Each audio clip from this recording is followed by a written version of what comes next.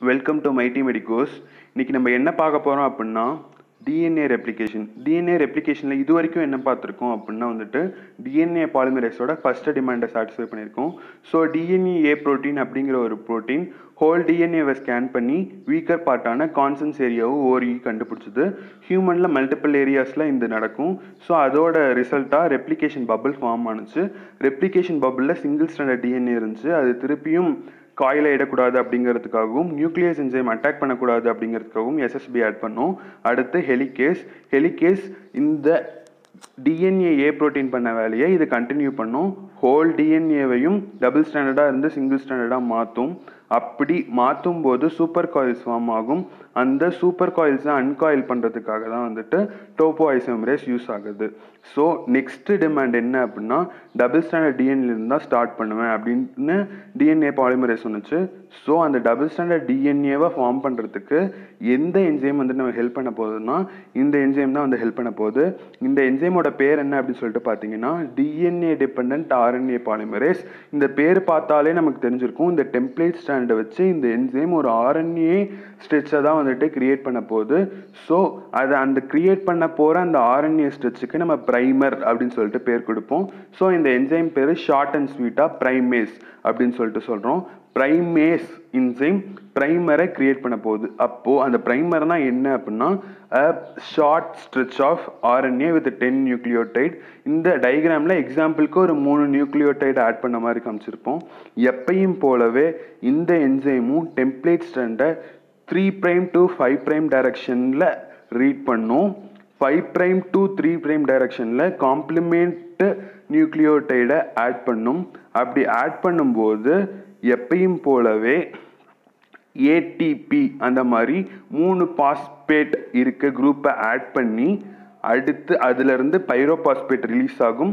அந்த எனர்ஜி மூலமாக ஒரு நியூக்ளியோடைடும் இன்னொரு நியூக்ளியோடைடும் காம்ப்ளிமெண்ட் ஸ்டாண்டில் ஆட் ஆகும்.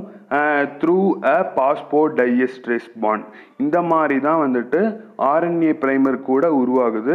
இந்த மாதிரி ஆர்என்ஏ ப்ரைமரை இந்த பாட்டை நமக்கு போட்டோடனே so starting for DNA polymerase நமக்கு கிடச்சிருச்சு. ஸோ இந்த இடத்துல பார்த்தீங்க அப்படின்னா வந்துட்டு சிங்கிள் ஸ்டாண்டாக இல்லாமல் டிஎன்ஏ நமக்கு டபுள் ஸ்டாண்டர்டாக கிடச்சிருச்சு. ஸோ இதுக்கும் மேலே டிஎன்ஏ பாலிமரேஸ் வந்துட்டு அதோட ஒர்க்கை பார்க்கலாம். ஸோ இதுதான் அந்த டிஎன்ஏ பாலிமரேஸ் டிஎன்ஏ பாலிமரேஸ்லையும் நிறையா டைப்ஸ் இருக்குது அதில் டிஎன்ஏ பாலிமரேஸ் த்ரீ தான் நம்மளோட ரெப்ளிகேஷனுக்கு ஹெல்ப் பண்ண போகுது. அப்போது அந்த டிஎன்ஏ பாலிமரேஸோட ஃபங்க்ஷன்ஸ் என்ன அப்படின்னு சொல்லிட்டு பார்த்தீங்கன்னா டெம்ப்ளேட் ஸ்டாண்டை three prime to five prime டைரக்ஷனில் ரீட் பண்ணும்.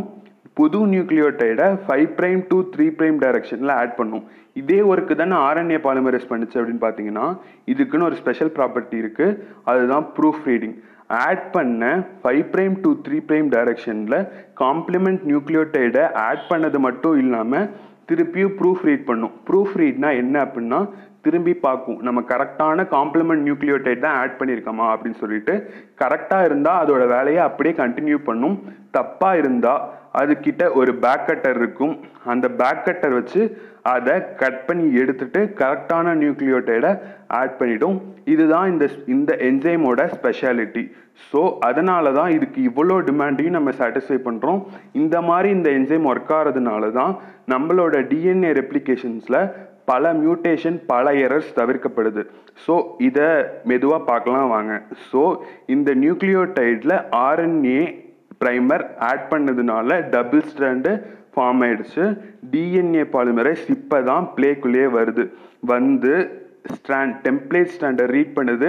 Three prime to five prime டைரக்ஷனில் five prime to three prime டைரக்ஷனில் காம்ப்ளிமெண்ட் நியூக்ளியோடைடை ஆட் பண்ணுறதுக்காக நியூக்ளியோடைடை தேடுது. அப்படி தேடும்போது நமக்கு மூணு டிமாண்ட் இருக்குன்னு சொன்னோம். அந்த மூணாவது டிமாண்டை இப்போ சொல்கிறேன் கேளுங்க. அபூடன் சப்ளை ஆஃப் நியூக்ளியோடைட் இருக்கணும். நிறையா நியூக்ளியோடைட் இருக்கணும். அது என்ன சூஸ் பண்ணுதோ அது கைக்கு எட்டுற தூரத்தில் இருக்கணும். அப்போ தான் அதால் ஆட் பண்ண முடியும். ஸோ எல்லா நியூக்ளியோடைடும் நம்ம சப்ளை பண்ணிடுறோம். ஏடிபி ஜிடிபி சிடிபி டிடிபி இது எல்லாத்தையும் நிறைய அமௌண்ட்டில் கொடுத்துட்றோம். இது டெம்ப்ளேட் ஸ்டாண்டர்ட் ரீட் பண்ணி ஆட் பண்ணி ப்ரூஃப் ரீட் பண்ணுறது மட்டும்தான் அதோட வேலை. ஸோ ரீட் பண்ணிடுச்சு. இதுக்கு ஏற்ற மாதிரி இப்போ ஆட் பண்ணுது பாருங்கள் டீக்கு காம்ப்ளிமெண்ட்டாக ஏ ஆட் பண்ணுது. ஸோ அடுத்து ஏக்கு காம்ப்ளிமெண்ட்டாக டி ஆட் பண்ணுது. இதை ஆட் பண்ணிவிட்டு ப்ரூஃப் ரீடும் பண்ணும். ப்ரூஃப் ரீட் பண்ணிட்டு கரெக்டாக இருக்கிறதுனால அடுத்தடுத்த நியூக்ளியோடைடை இப்போ ஆட் பண்ணிக்கிட்டே வருது. ஆனால் அடுத்து என்ன பண்ணுது அப்படின்னு சொல்லிட்டு பார்த்தீங்கன்னா ஏக்கு காம்ப்ளிமெண்ட்டாக டீ தான் ஆட் பண்ணியிருக்கணும். ஆனால் இங்கே சியை தப்பாக ஆட் பண்ணிடுச்சு. ஸோ இது என்ன ப்ரூஃப் ரீட் பண்ணி பார்க்கும்போது இந்த எரர் அதுக்கு தெரிஞ்சிருக்கு. ஸோ அதை இந்த பேக் கட்டர் வச்சு கட் பண்ணிவிட்டு கரெக்டான ஏ கூட டீயை இப்போ ஆட் பண்ணிடுச்சு. இந்த மாதிரி ஒரு ஒரு நியூக்ளியோடைடை ஆட் பண்ணும்போதும் தப்பாக ஆட் பண்ணாலும் ப்ரூஃப் ரீட் மூலமாக கரெக்ட் பண்ணக்கூடிய ஒரு ஃபங்க்ஷன் இந்த டிஎன்ஏ பாலிமரைஸ்க்கு இருக்கிறதுனால இந்த ரெப்ளிகேஷன்ஸில் நிறையா எரர் தவிர்க்கப்படுது இதுதான் வந்துட்டு டிஎன்ஏ பாலிமரஸோட ஒன் ஆஃப் த ஃபங்க்ஷன் இது மாதிரி இது என்ன பண்ணும் அப்படின்னா வந்துட்டு டெம்ப்ளேட் ஸ்டாண்டை ரீட் பண்ணி ரீட் பண்ணி நிறையா நியூக்ளியோடைடை பாலிமரைஸ் பண்ணிடும்.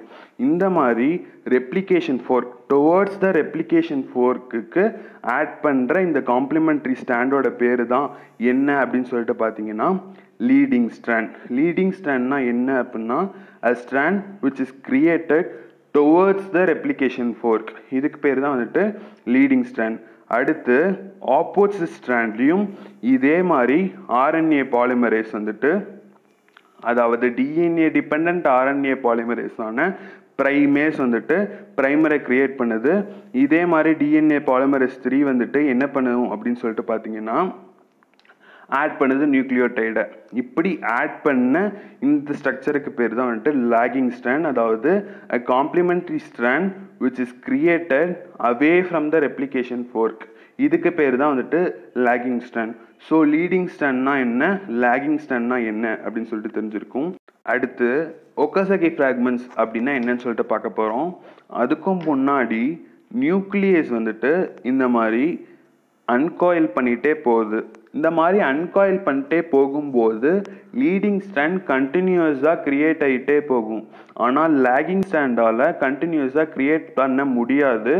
ஏன்னா இந்த lagging ஸ்டாண்டுங்கிறது stand which is created away from a replication fork அப்படிங்கிறதுனால என்ன ஆகும் அப்படின்னு சொல்லிட்டு பார்த்தீங்கன்னா அங்கங்கே போயிட்டு ப்ரைமர் ஆட் பண்ண வேண்டியதாக இருக்கும்.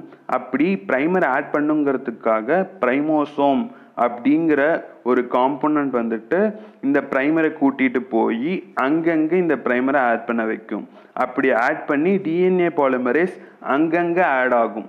ஸோ இந்த ப்ரைமர்லேருந்து ஸ்டார்ட் ஆகி லேகிங் ஸ்ட்ராண்டில் அங்கங்கே உருவான இந்த காம்ப்ளிமெண்ட்ரி ஸ்ட்ராண்ட் பேர் தான் வந்துட்டு ஒகாசகி ஃப்ராக்மெண்ட்ஸ் அப்படி உருவான இந்த லேகிங் ஸ்ட்ராண்ட்ஸில் அங்கங்கே லேக்ஸ் இருக்கிறதுனால தான் இதுக்கு பேர் லேகிங் ஸ்ட்ராண்ட் அப்படின்னு சொல்லிட்டு சொல்கிறோம் லீடிங் ஸ்ட்ராண்ட் கண்டினியூஸாக உருவாகிறதுனால தான் இதுக்கு லீடிங் ஸ்ட்ராண்ட் சொல்கிறோம் லீடிங் ஸ்ட்ராண்ட்னா என்ன அப்படின்னா டுவர்ட்ஸ் த ரெப்ளிகேஷன் ஃபோர்க் உருவாகிற அந்த காம்ப்ளிமெண்ட்ரி ஸ்ட்ராண்ட் லேகிங் ஸ்டாண்ட் அப்படிங்கிறது away from the replication fork உருவாகிற இந்த காம்ப்ளிமெண்ட்ரி ஸ்ட்ராண்ட் பேர் தான் இந்த லேகிங் ஸ்ட்ராண்ட் நெக்ஸ்ட்டு என்ன பார்க்க போகிறோம் அப்படின்னா இந்த மாதிரி உருவாகிற ஒகாசக்கி ஃப்ராக்மெண்ட்ஸ்னால ஆர்என்ஏ ப்ரைமர் கூட கடைசி நியூக்ளியோடைடை ஆட் பண்ண முடியுமா அப்படின்னு சொல்லிட்டு பார்த்தா ஆட் பண்ண முடியாது. அப்போனா என்ன பண்ணுறது அப்படிங்கிறதுக்காக புதுசாக ஒரு என்சைமை எடுத்துகிட்டு வரோம். அதுக்கு பேர் தான் டிஎன்ஏ பாலிமரேஸ் இந்த டிஎன்ஏ பாலிமரேஸ் ஒன்று என்னென்ன வேலை பார்க்கும் அப்படின்னு சொல்லிட்டு பார்த்தீங்கன்னா இது எல்லா ஃபங்க்ஷன்ஸ் ஆஃப் டிஎன்ஏ பாலிமரேஸ் த்ரீயும் பண்ணும். ஆனால் அது கூட ஒரு ஒர்க்கை எக்ஸ்ட்ரா பண்ண போது அது என்ன அப்படின்னா இதுக்கு ஃப்ரண்ட் கட்டர் இருக்குது இந்த ஃப்ரண்ட் கட்டர் மூலியமாக ஒரு டிஎன்ஏ ஒரே ஒரு பீஸ் ஆஃப் டிஎன்ஏவையோ இல்லை நிறைய நியூக்ளியோடைட்ஸ் ஆஃப் டிஎன்ஏவையோ இல்லை ஆர்என்ஏவையோ கரெக்டான பிளேஸில் கரெக்டான காம்ப்ளிமெண்ட் நியூக்ளியோடைடாக ஆட் ஆயிருந்தாலும் இதால் கட் பண்ண முடியும். ஆனால் டிஎன்ஏ பாலிமரேஸ் ஒன்னால் இதை கட் பண்ண முடியும். டிஎன்ஏ பாலிமரேஸ் த்ரீயால் கட் பண்ண முடியாது. ப்ரூஃப் ரீட் பண்ணும்போது தப்பாக அரேஞ்ச் ஆகிருந்தால் மட்டும்தான் இதை கட் பண்ண முடியும். ஆனால் டிஎன்ஏ பாலிமரேஸ் சொன்னால கரெக்டான இடத்துல பிளேஸ் ஆன நியூக்ளியோடைடை கூட கட் பண்ண முடியும். ஸோ இதுதான் இந்த டிஎன்ஏ பாலிமரேஸ் ஒன்னோட ஸ்பெஷாலிட்டி அதன் மூலியமாக இந்த ப்ரைமராக இருக்க இந்த ஆர்என்ஏவை இது கட் பண்ணி எடுக்க போகுது. எங்கெங்கே லேகிங் ஸ்டாண்ட்ஸில் இருக்கோ அந்த இடத்துலையும் கட் பண்ணும். எங்கெங்கே லீடிங் ஸ்டாண்டில் இருக்கோ அந்த இடத்துலையும் கட் பண்ணும். கட் பண்ணிவிட்டு டிஎன்ஏ பாலிமரேஸ் த்ரீ ஒர்க்கான சில ஒர்க்கையும் இந்த டிஎன்ஏ பாலிமரேஸ் ஒன் பண்ணும். ஸோ இப்போ என்ன பண்ணுது அப்படின்னு சொல்லிட்டு பார்த்தீங்கன்னா நியூக்ளியோடைடை கரெக்டாக ரீட் பண்ணும். Three prime to five prime டைரக்ஷனில் டெம்ப்ளேட் ஸ்டாண்டில் ரீட் பண்ணி காம்ப்ளிமெண்ட் ஸ்டாண்டில் five prime to three prime டைரக்ஷனில் இது வந்துட்டு ஆட் பண்ணிடும் நியூக்ளியோடைடை அதே மாதிரி ப்ரூஃப் ரீடும் பண்ணும். தப்பான நியூக்ளியோடைட் ஆட் பண்ணியிருந்தால் கரெக்டான நியூக்ளியோடைடை அதுக்கு பதிலாக ரீப்ளேஸ் பண்ணிவிடும் இப்படி இந்த டிஎன்ஏ பாலிமரைஸ் ஒன் பண்ணாலும் ஒக்காசக்கி ஃப்ராக்மெண்ட்ஸோட இப்போ உருவான டிஎன்ஏ பாலிமரைஸ் ஒன்னால் உருவான ஸ்டாண்ட்ஸ்னால ஆட் ஆக முடியாது. இப்போ இதுக்கும் ஹெல்ப் தேவைப்படுது.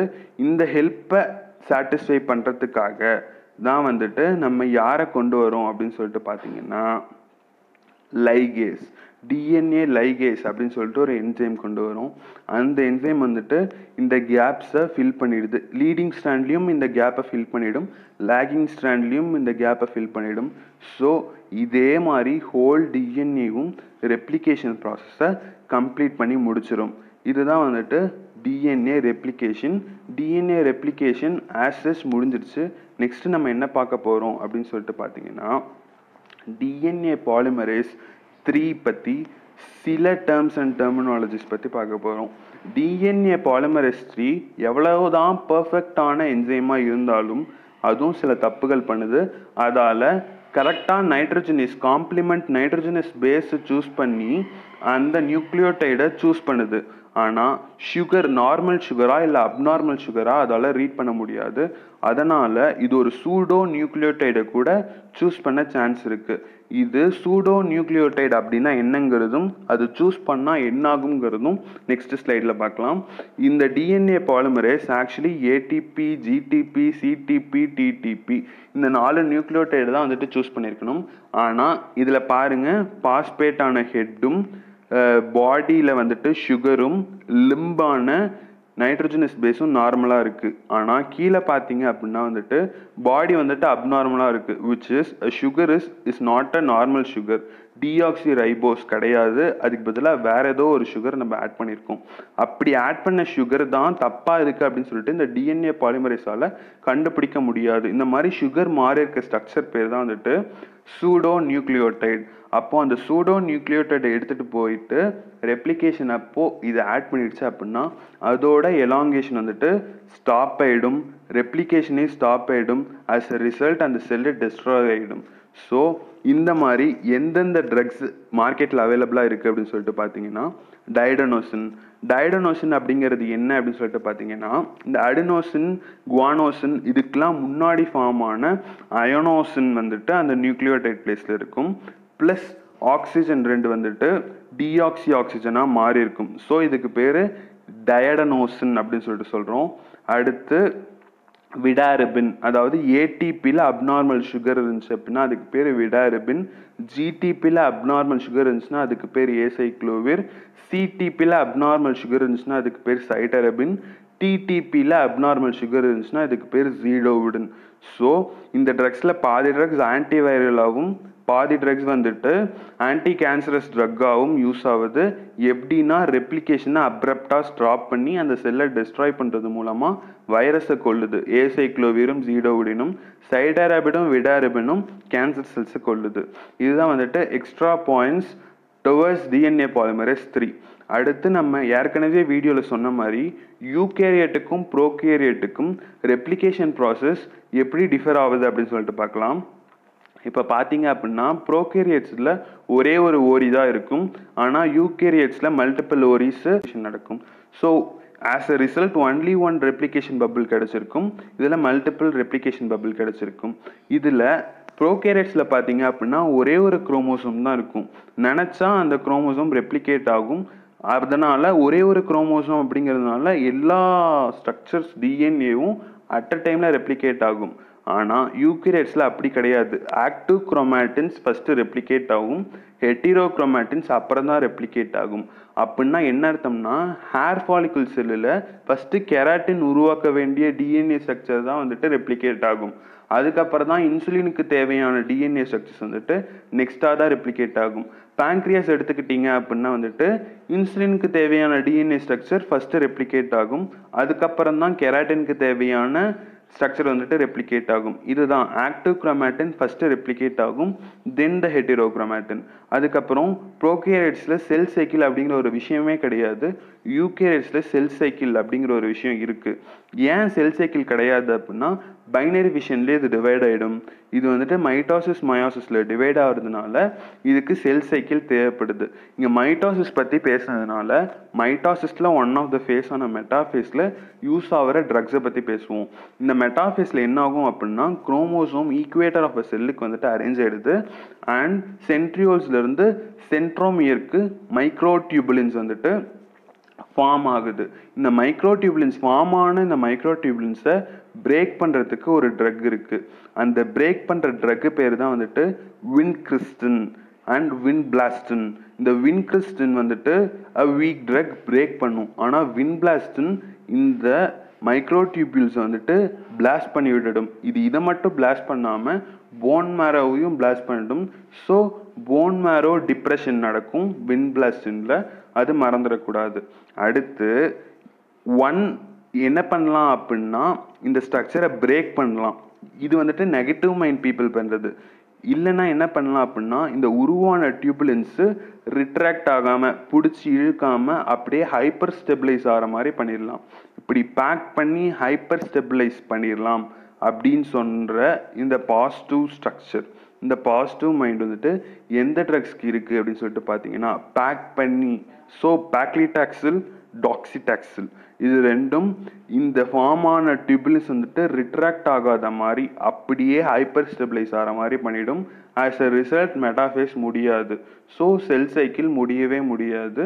இதுதான் ரெண்டு ட்ரக்ஸு இது வந்துட்டு add on points to DNA replication thank you for listening நம்மளோட மைட்டி மெடிக்கோஸை லைக் பண்ணுங்கள் ஷேர் பண்ணுங்கள் சப்ஸ்கிரைப் பண்ணுங்கள் ஆளுங்கிற ஆப்ஷனை ப்ரெஸ் பண்ணுங்கள் அப்போ தான் நான் போடுற அடுத்த வீடியோ நோட்டிஃபிகேஷன் வரும். தேங்க்யூ